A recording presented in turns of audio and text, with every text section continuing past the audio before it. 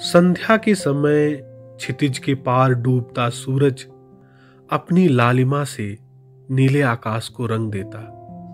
ये रंग कभी केसरिया लगता, कभी गेरुआ तो कभी सिंदूरी। आसमान के कैनवास पर प्रकृति बादलों की कूची से अलग अलग चित्र उकेरती और अनेकों नेक बेनाम रंगों से भर देती। बादलों के ये चित्र हर पल के साथ बदलते रहते। हम बचपन इन चित्रों को पहचानने का खेल भी खेला करते। कभी दोनों बाहें फैलाए, खेत खलियानों में दौड़ लगाया करते।